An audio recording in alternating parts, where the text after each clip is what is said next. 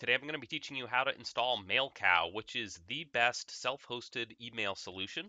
This video can be viewed as a standalone tutorial or as part of our Centmin Mod and XenForo tutorial series. The beauty of MailCow is how insanely easy it is to set up.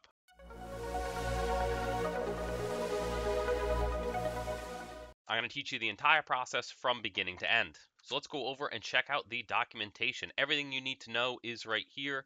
Very easy to read, very straightforward. First thing you want to see is minimum system resources. So we're going to set up a server with one CPU and three gigabytes of RAM. So we're going to drop into DigitalOcean. We're going to create a new droplet. I usually use CentOS, but for this I'm going to use Ubuntu 18 just to switch things up. We're going to use a standard plan, and I found that this 15 month, $15 a month plan, three gigabyte RAM, one CPU is plenty. Now MailCow does have two modules that do consume a lot of RAM. So if you have a really busy server and you want to be able to use the Solr search index, or you want to scan all the emails with the ClamAV, then you will want to use uh, something with more RAM.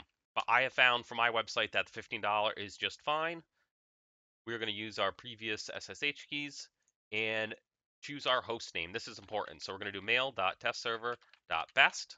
And this is important because uh, you're going to want to set up your email server on a separate server from your regular server because I set everything up with Cloudflare for DDoS protection and we can't leak our origin IP address. If you, in Cloudflare, when you set up your email server, the email server cannot be proxied by Cloudflare.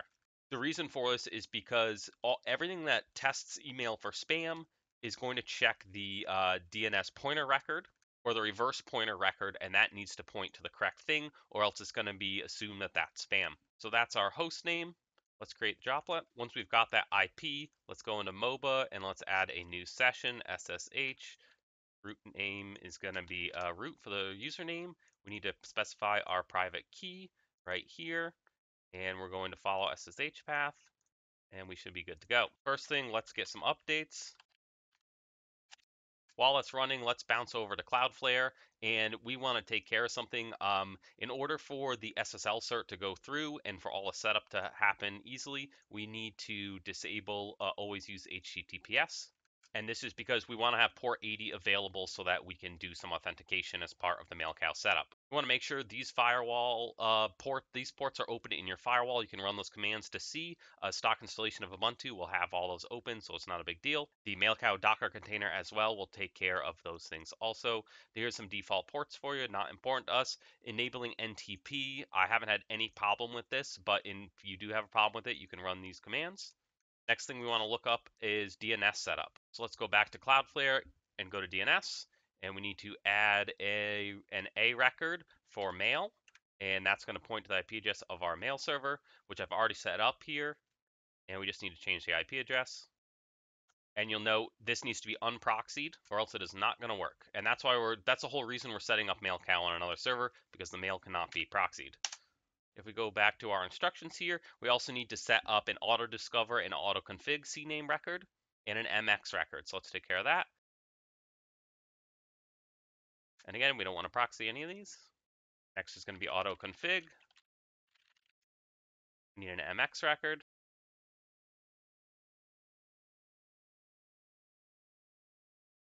Record art exists. I added it previously when I was setting up this video, so that's what it looks like. Fine. And then we need to add a text record for our SPF sender policy framework. There's three things that you need to set up to make sure that your emails are going to get through and they're not going to be blocked because they look spammy. And those are SPF, DKIM, and DMARC. So the first one is SPF. That's easy. You can do a text record or you can actually use the SPF record here as well. And it's going to be at and then the record is going to be v equals spf1, the version, and mx all, basically saying that any email server which is listed under an mx record is authorized for our server. Save that. If this doesn't let you add it under SPF, just change it to text. And do at, and then we'll drop that in here, and it'll say fine. Let's go back to our server. All those went through, so that's good. Let's go back to our DNS setup instructions.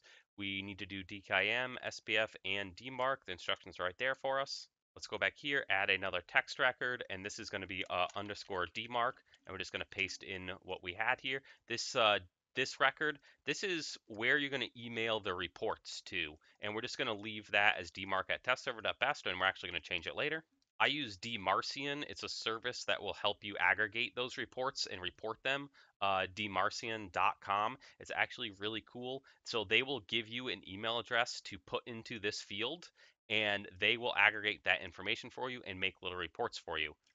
Very good service. It has lots of um, validations and different tests you can use to help uh, make sure your email server is set up correctly. The next record is going to be another text record. It's going to be dkim dot underscore domain key.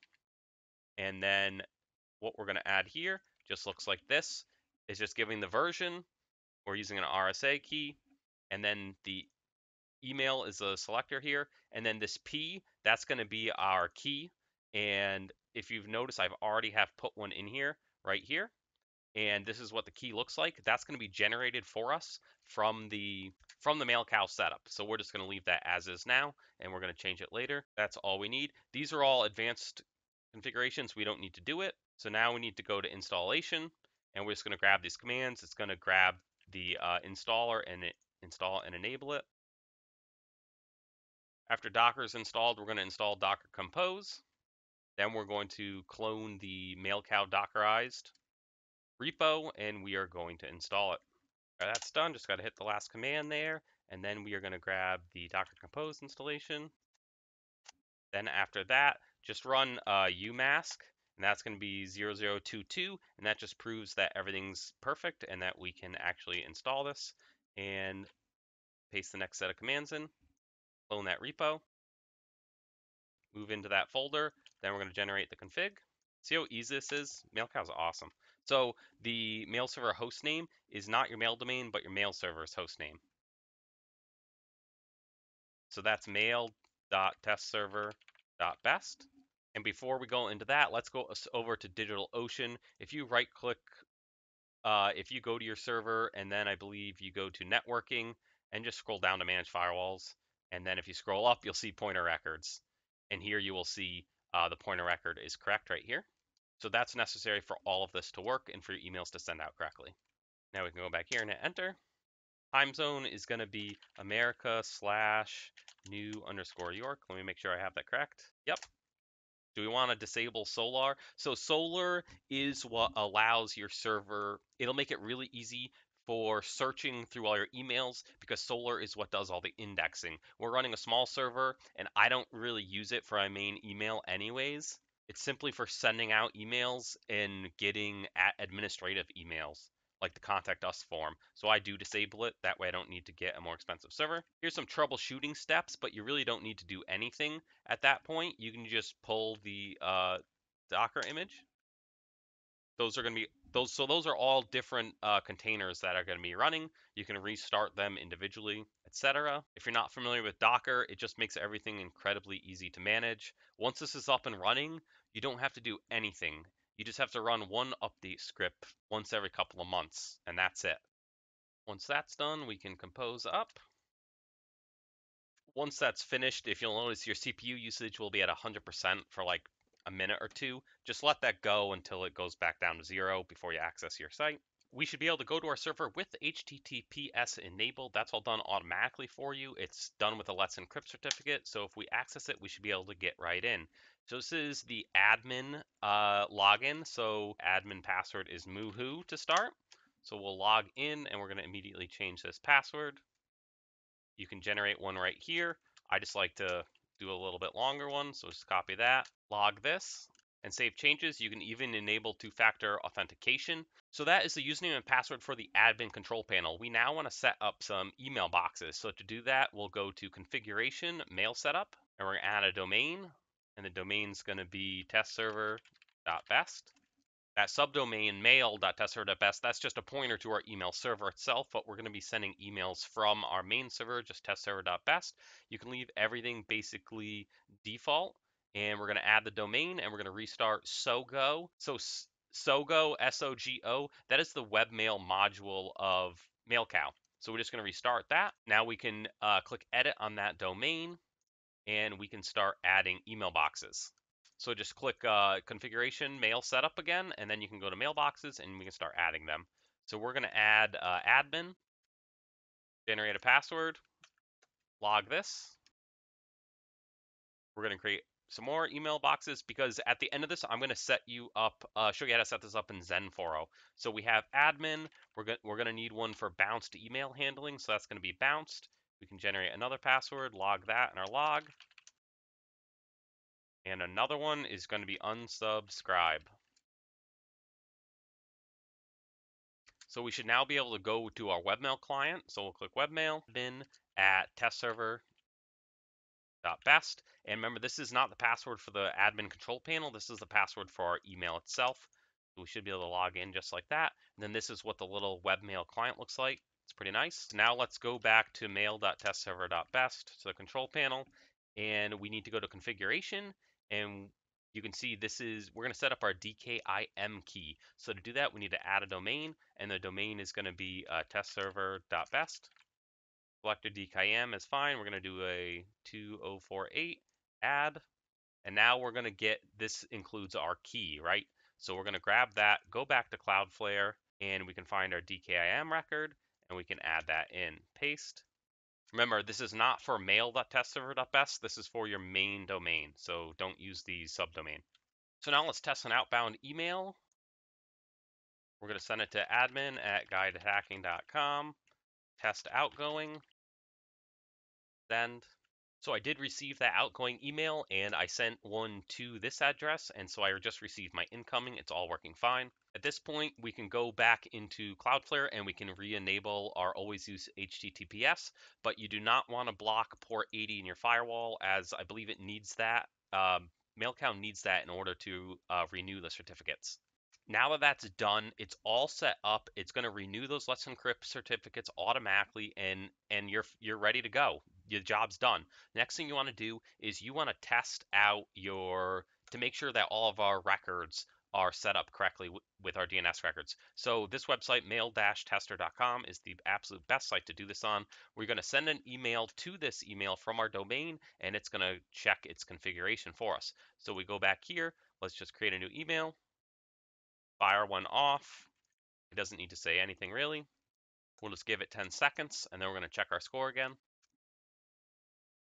And we got an 8.2 out of 10. As long as you get above a 7 or an 8, you're fine. Our message is fine. It's got a check mark. SpamAssassin thinks we can improve. But our DKIM is correct. SPF is good. We're not blocked by any block lists. We're properly authenticated. SPF record is good. DKIM is good. DMARC is good everything is good. Your message could improve.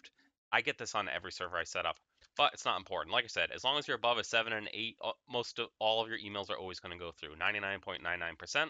So now I'll show you how to set all this up in uh, XenForo. So we'll go to the admin control panel, uh, email options, and we're going to put in our default email address, contact email address, and our email transport method. We're going to do SMTP, mail.testserver.best, port 465. We're going to the username and password because we're just going to use username and password authentication is right here. And we're going to use SSL. We're going to set up bounced email address handling. And so that was bounced at testserver.best. Our unsubscribe email address is going to be unsubscribe. We're just going to leave this default. We're going to enable automated bounced handling, and that's going to use POP3. Our server is mail.testserver.best. Port is 995. We're going to do username password bounced at test server. Again, SSL. We're going to enable automated unsubscribe handling. Again, POP3. This is going to be test server.best. Port 995 again. Same thing, but this is going to be unsubscribe. And that password is up here. Paste that in, SSL again. Now, these options you'll have to play with. I actually use one 1, and 0 on my server, but you may just want to leave it uh, as a default for testing purposes. We can click Save Now, and now we want to make sure that that worked correctly. So go to Tools and go to Test Outbound Email, and we're actually going to send another email to this service. We're going to put in here Test Outbound Email, Send. So we did get an error here, so let's see what this log says. So the reason we're getting this error is because admin test server.best cannot be cannot send emails with this uh, address. Basically, what we're trying to do is we're sending with this address, but we're using this as the reply to address so that we can collect uh, bounced emails and handle them. So to fix that, we just go back to MailCow UI, go to configuration mail setup and we'll edit uh, bounced.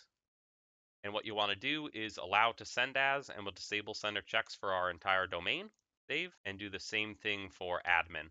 And now, God willing, we should be able to send again. Once that's successfully uh, sent, we can refresh our test and it shows we just received the email two minutes ago and there you go. We got a 10 out of 10. So now your server is all set up. It's hooked up with XenForo. Your emails are all going to go through. One thing to keep in mind though is that you want to warm up this new email server because if you start sending out 100,000 emails on your first day, you are likely going to be start getting blocked because they're going to assume that you're spam. So warm up doing I started doing 50 emails per day and then to 100 and now we're at about 500 to 1000 emails per day and I I did that slowly over the course of 2 months and I've never had a problem since. If you run into any problems with your MailCow server, you can do con configuration system information and you will see all the logs. So we can go to postfix and we can see those errors that we had are going to be logged in here.